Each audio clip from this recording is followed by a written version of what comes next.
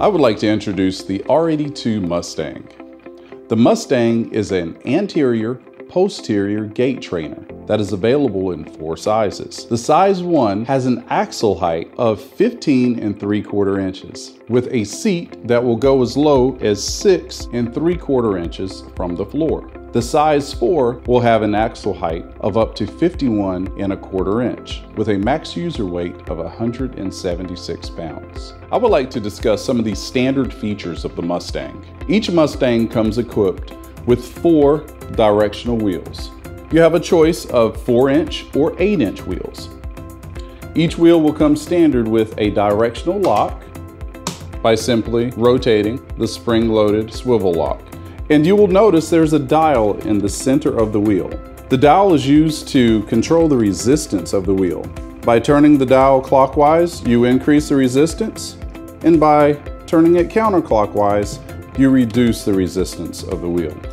If you will notice on the outside of each caster is a red tab. This is an anti-reverse wheel stop, which allows you to go forward, but does not allow the wheel to go backwards. And you will notice they're on all four wheels. So whether you're using this in anterior or posterior, you will always have control of the wheel. And most importantly, the wheel locks are the gray tabs that you see. By simply pressing, you're able to lock the wheel. And by pressing the red tab, you're able to unlock the wheel. Another standard feature of the Mustang is the height adjustment, which is operated by this pedal. By pressing the pedal, I'm able to adjust the height of the unit.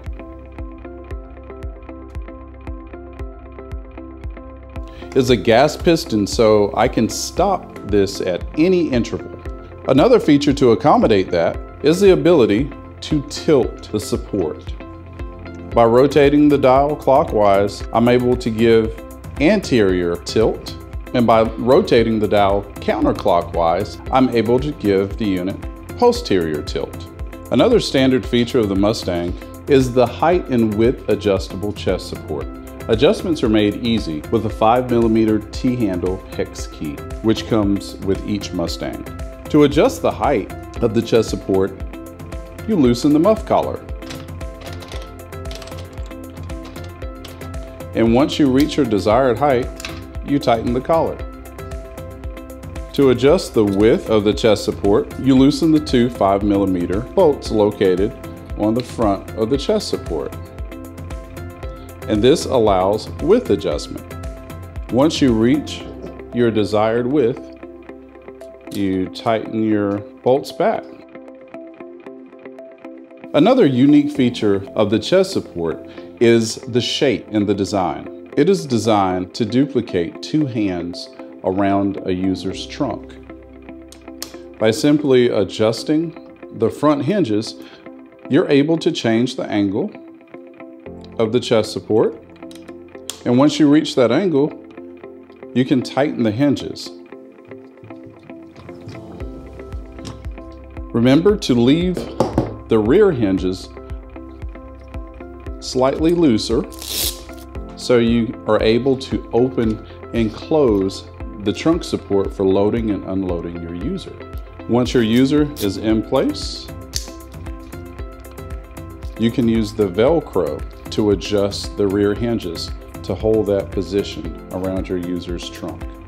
I would like to discuss some of the accessories available for the Mustang. One of the accessories is the armrest. The armrests have several adjustments that are available. One is the depth adjustment of your hand grip, as well as the angle adjustment.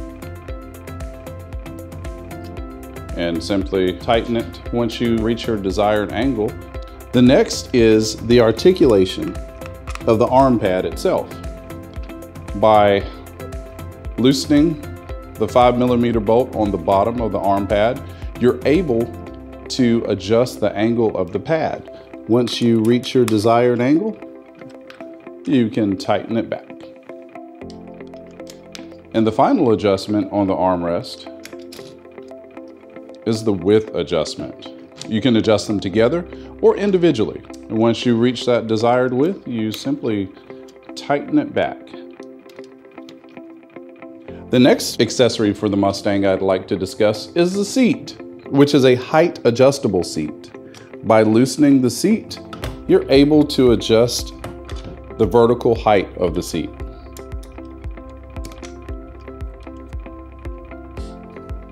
And for users that require additional support, this particular unit has a width adjustable hip support, which features a two-step safety system. There is a lever that you loosen and there's a pull pin underneath the seat. Once you place the support into the seat, you release your pin and you tighten your lever. If width adjustment is required, simply loosen the 5 millimeter bolts on the rear of the seat, which will allow for width adjustment, as well as height adjustment on the hip support pads. Now I'd like to discuss the leg separator. The leg separator is used to prevent a user's legs from crossing or scissoring. This is a height adjustable feature that is easily removed when not needed by simply loosening the 5 millimeter bolt in the center of the frame. You're able to remove it or adjust the height.